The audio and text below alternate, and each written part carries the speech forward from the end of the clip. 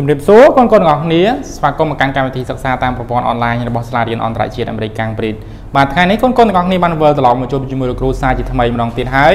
កូនកូនទាំងអស់គ្នាសុខសប្បាយអត់កូនថ្ងៃហ្នឹងបាទសុខណាស់កូនណាល្អណាស់កូនកូនទាំងអស់គ្នាអញ្ចឹងកូនកូនទាំងអស់គ្នាកុំភ្លេចចូលរួមធ្វើអនាម័យខ្លួនប្រាណបានញឹកញាប់ណាដើម្បីសម្លាប់មេរោគធ្វើឲ្យកូនកូនទាំងអស់គ្នានឹងមានសុខភាពល្អបាទអរគុណច្រើនថ្ងៃនេះលោកគ្រូនឹងលើកយកនៅមុខវិជ្ជាគណិតវិទ្យាមកបង្រៀនកូនកូនទាំងអស់គ្នាតើកូនកូនទាំងអស់គ្នាបានត្រៀមសម្ភារៈសិក្សាជាមួយលោកគ្រូនៅ ត្រៀមរួចរាល់ហើយល្អណាស់កូនកូនទាំងអស់គ្នាបាទអញ្ចឹងមុននឹងចូលដល់ចំណុចថ្មីនៃមេរៀនរបស់យើងកូនកូនទាំងអស់គ្នានៅចាំដែរឬទេកូនតើកាលពីថ្ងៃអង្គារណាកូនណាថ្ងៃអង្គារតើមុខវិជ្ជានឹងវិជ្ជារបស់យើងយើងសិក្សាដល់មេរៀនទីប៉ុន្មានចំណុចអ្វីបាទល្អណាស់កូនកូនបាទកូនកូនទាំងអស់គ្នាបានឆ្លើយត្រឹមត្រូវហើយគឺយើងសិក្សាដល់មេរៀនទី12ណាកូនណាប្រភេទយើងតចំណុចបាទការរកតម្លៃប្រភេទនៃមួយចំនួនបាទអញ្ចឹងដើម្បីរកតម្លៃ ប្រភេទនៃមួយចំនួនតើយើងត្រូវធ្វើដូចម្ដេចកូនបាទគឺយើងត្រូវបាទត្រូវយកបាទចំនួននោះទៅចែកនឹងភាគបែងហើយគុណនឹងភាគភាគយកបាទអញ្ចឹងថ្ងៃនេះលោកគ្រូនឹងចូលដល់ចំណុចថ្មីនៃមេរៀនរបស់យើង បាទគឺយើងដោះស្រាយលំហាត់ការរកតម្លៃប្រភេទនៃមួយចំនួនបាទអរគុណច្រើនកូនកូនទាំងអស់គ្នាអញ្ចឹងកូនកូនទាំងអស់គ្នាយកចិត្តទុកដាក់សិក្សាជាមួយលោកគ្រូនិងសង្កេតមកលើក្រាតខៀនបាទហើយចូលរួមអានថ្ងៃខែជាមួយលោកគ្រូទាំងអស់គ្នាណាកូនបាទ បាទអញ្ចឹងថ្ងៃនេះជាថ្ងៃពុធ11កើតខែអាសាឍឆ្នាំជូតទស័កពុទ្ធសករាជ2564ត្រូវនៅថ្ងៃទី1ខែកក្កដាឆ្នាំ2020មុខវិជ្ជាក្នុងវិជ្ជាមេរៀនទី12ប្រភេទតបាទយើងតដល់លំហាត់បាទអញ្ចឹងថ្ងៃនេះយើងដោះស្រាយលំហាត់បាទគឺឲ្យកូនទាំងអស់គ្នាប្រាប់ពីតម្លៃប្រភេទដែលលោកគ្រូដាក់ឧទាហរណ៍កូនកូនទាំងអស់គ្នាបាទបាទអញ្ចឹងលោកគ្រូមានឧទាហរណ៍កណាកូនណាបាទបាទ គូដាក់កបា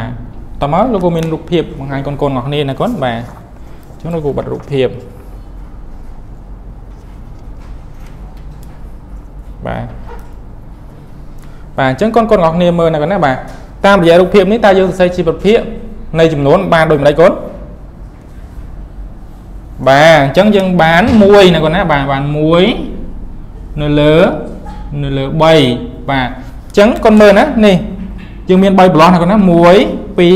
បាទអញ្ចឹងយើងផាត់ពណ៌មួយប្រឡោះអញ្ចឹងយើងបានយើងយើងយកមួយទៅធៀបនឹងចំនួនសរុបគឺ3ណាកូន3ប្រឡោះ1 2 3នៃនៃប្រហែលកូននៃចំនួនសរុបប្រហែលយើងរាប់មើលកូន1 2 3 4 5 6បាទនៃ6នេះកូនណាបាទនៃ6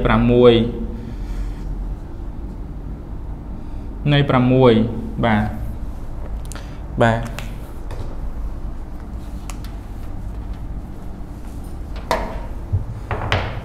បាទ1លើ3នៃ6ស្មើនឹងបាទ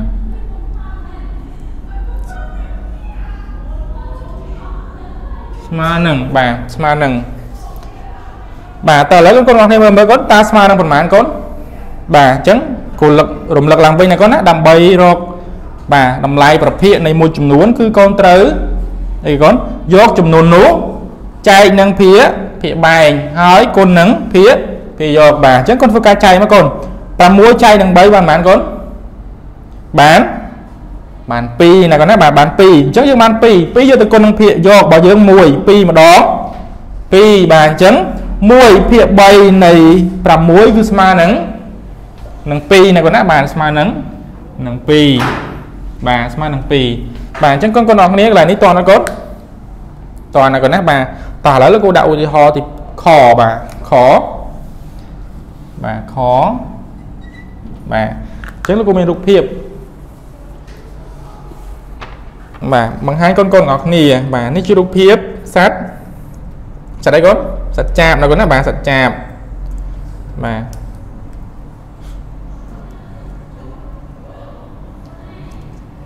បាទអញ្ចឹងកូនកូនទាំងអស់គ្នាមើលណានេះរូបភាពសត្វចាបអញ្ចឹង តោះយើងសរសេរជាប្រប្រភេទណាកូនណាបាទអញ្ចឹងកូនមើលចាបនេះមានគេដាក់ក្នុងប្រឡោះមានប៉ុន្មានប្រឡោះកូន1 2 3 4ហើយគេផាត់ពណ៌អស់មកប្រឡោះអញ្ចឹងយើងធ្វើការសរសេរជាប្រភេទបានដូចម្ដេចកូន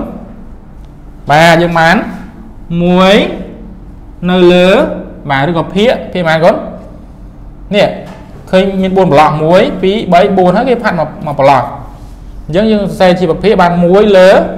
ឬក៏1ភាគ ភាគ4ណាកូនណាបាទ1ភាគ4បាទដោយសារតែយើងយក1ប្លោះនេះធៀបនឹងចំនួនសរុបរបស់យើងគឺ4ប្លោះបាទនៃចំនួនបាទនៃចំនួនសរុបនៃចំនួនថាត់ចាបហ្នឹងចាបយើងមានម៉ែទាំងអស់កូន1 2 3 4 5 6 7 8 8បាទអញ្ចឹងនៃ8បាទនៃ5 8ហ្នឹងណាបាទស្មើនឹងបាទស្មើ ស្មើនឹងបាទស្មើនឹងប៉ុន្មានកូនតោះឥឡូវកូនកូនទាំងអស់គ្នាសាកគិតមើលកូនអញ្ចឹងដោយលោកគ្រូបានបង្ហាញកូនមិនអញ្ចឹងបាទដើម្បីរកតម្លៃនៃប្រភេទបាទដើម្បីរកតម្លៃប្រភេទនៃមួយចំនួនកូនត្រូវយកចំនួននោះទៅចែកនឹងភាគភាគបែងតមកគុណនឹងភាគភាគយកបាទអញ្ចឹងកូនធ្វើការចែកមកកូនចំនួនរបស់យើងគឺ8ណាចែកនឹងភាគបែងមកកូនយក8ចែកនឹង4មកស្មើប៉ុន្មាន បាទល្អណាស់កូនយក8ចែកនឹង4គឺបានបាន2ណាកូនណាបាទអញ្ចឹងបាន2 2យកមកគុណនឹងភាគយកភាគយកយើង1 2ម្ដង2បាទអញ្ចឹងស្មើនឹងស្មើនឹង2បាទអញ្ចឹងបាទជើងបាន2លំហាត់ហើយណាបងណាគឺលំហាត់កលំហាត់ខអញ្ចឹងតើកូនកូនរបស់គ្នាតើអត់កូនកន្លែងនេះក្នុងការរកតម្លៃឬក៏តំហ្នឹងហើយតម្លៃប្រភេទនៃមួយចំនួនបាទតើអត់កូន បាទតន់តោះឥឡូវលោកគ្រូបន្ថែមឧទាហរណ៍បន្តទៀតឲ្យកូនកូនរបស់គ្នាកាន់តែ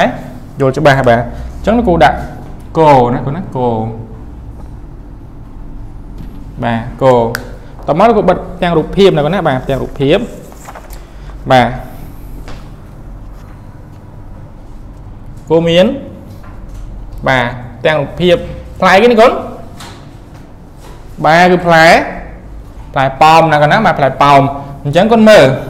យើងសរសេរជាប្រប្រភេទអញ្ចឹងកូនមើលផ្លែប៉ោមនោះមានប្រមាណប្រឡោះកូនបាទមាន2 2ប្រឡោះណាកូនណាបាទ1 2ហើយគេផាត់ពណ៌អស់មួយមួយប្រឡោះមែនអត់កូនបាទអញ្ចឹងយើងសរសេរជាប្រភេទបានប៉ុន្មានកូន1ភាគភាគ2ហ្នឹងណាបាទដោយសារតែយើងចំនួនសរុបយើងមាន2ប្រឡោះហើយគេផាត់ពណ៌មួយប្រឡោះអញ្ចឹងយើងយកចំនួនផាត់ពណ៌នេះមកធៀបនឹងចំនួនសរុបរបស់យើង2ប្រឡោះនៃនៃចំនួនផ្លែប៉របស់យើងបាទ កន្លែងនេះនៃយើងអាចសរសេរបានម្យ៉ាងទៀតថាគុណក៏បានដែរគាត់ណាបាទកន្លែងនៅក្នុងនិតវិទ្យានៃនឹងយើងអាចសរសេរជាគុណក៏បានដែរគាត់ណាបាទតើឥឡូវកូនកូនទាំងអស់គ្នា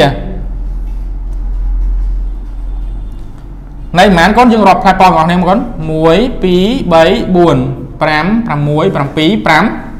8ណាកូនណាបាទអញ្ចឹងនៃ5 8ស្មើ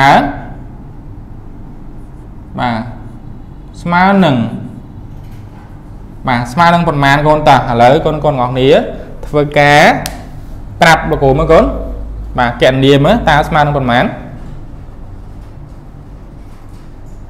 បាទត្រឹមត្រូវណាកូនគឺស្មើនឹងបាទស្មើនឹងនឹង4ណាកូនណាបាទធ្វើម៉េចបានស្មើ4កូនបាទគឺយក8ចែកនឹងនឹង2បាទ8ចែកនឹង2បានបាន4បាន4យកទៅគុណនឹងភាគបែកភាគយករបស់យើង1បាទ4គុណម្ដង 4ដដែលណាកូនណាបាទអញ្ចឹងយើងស្មើនឹងស្មើនឹង4បាទបាទតោះកូនកូនអរគ្នាតោះអត់កូនតបានបាទតោះឥឡូវយើងបន្តមួយលំហាត់ទៀតគាត់ណាបាទយើងដាក់ខបាទខតោះឥឡូវលោកគ្រូមានរូបភាពបិទបង្ហាញកូនកូនទៀតហើយបាទនេះគឺជារូបភាពកូនឡានបាទគាត់គេណា ឃើញរូបភាពកូនឡានអត់គេនេះបាទលោកគ្រូបិទបង្ហាញនេះទីនេះបាទតោះឥឡូវកូនកូនអរគ្នាសរសេរជាប្រភេទឲ្យលោកគ្រូកូនសរសេរដូចបានដូចម្ដេចកូនតោះសរសេរមើលបាទល្អណាស់កូនគឺបាន2ភាគភាគប៉ុន្មានកូនភាគ3បាទត្រឹមត្រូវណាកូន2ភាគ3តោះមិនបានបាន2ភាគ3កូនបាទដោយសារក្នុងមួយប្រឡោះ មួយប្រឡោះនេះសរុបទៅមានប៉ុន្មានកូន3 3ប្រឡោះកូនណា1 2 3បាទចុះគេផាត់ពណ៌អស់ប៉ុន្មានប្រឡោះកូន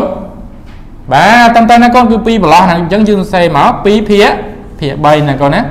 នៃបាទនៃកន្លែងនេះយើងអាចសរសេរសញ្ញាគុណក៏បានដែរកូនណាបាទបាទគូដាក់សញ្ញាគុណគូលេងដាក់ន័យហើយព្រោះអីក្នុងនៅដូចជាន័យយើងអាចសេជាសញ្ញាគុណក៏បានដែរគាត់ណាបាទតោះន័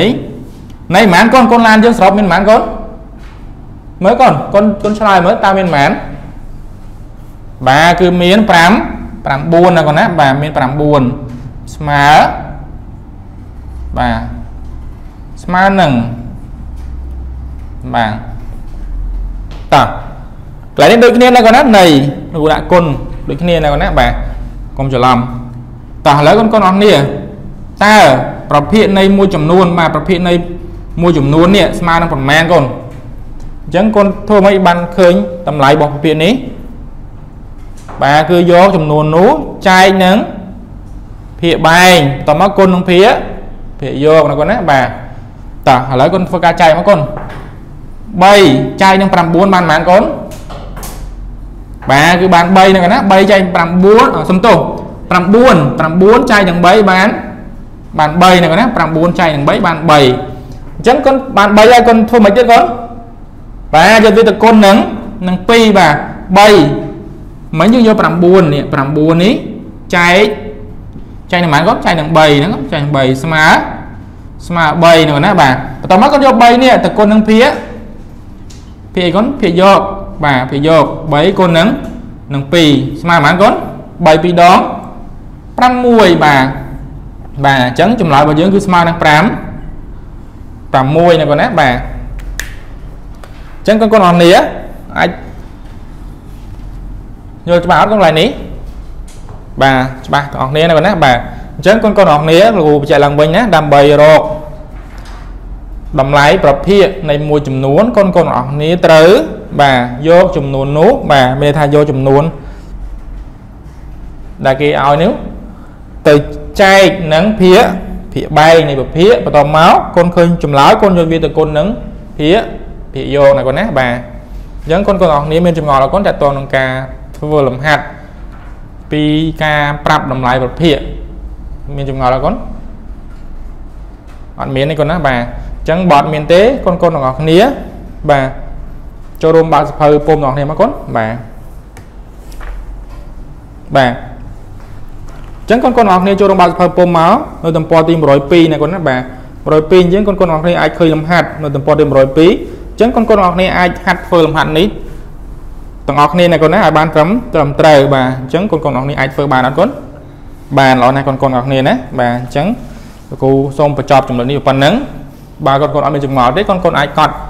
មេរៀនយើងដាក់ចូលក្នុងសៀវភៅបានណាកូនណាបាទកត់មេរៀនយើងមកឲ្យ កូនគូជាប្រអប់មកកូនបើអត់ចេះគូរូគាត់គូជាប្រអប់មកឲ្យកូនធ្វើការផាត់ផាត់ពណ៌មកកូនណាបាទហើយកូនបងលេខមកបងជារូប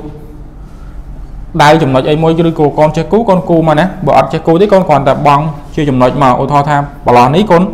ដៅចំណុចវងមូល2បាទវងមូល2វងមូល2ចឹងមកណាកូនណាបាទឬក៏សញ្ញាបូក2សញ្ញាបូក2ចឹងទៅណាកូនណាបាទតើអត់កូនបាទបើកូនអត់ចេះគូចាកូនគ្រាន់តែគូចំនួនដោយសັດចាំដោយសញ្ញាបូក2ទៅ